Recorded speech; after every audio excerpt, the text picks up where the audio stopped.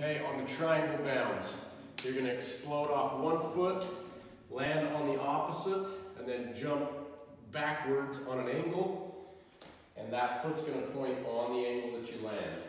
And then when you jump back, foot forward, back to starting position. Okay, I'm gonna do the full version first, and then I'll show you the modified version. Full version, jump,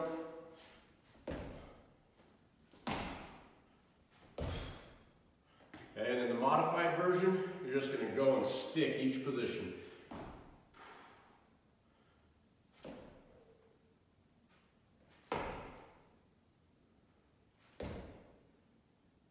Okay, on the modified version, if you're having a hard time sticking the position, going fast, slow it down and stick each position and go through that until you're able to pick up your speed.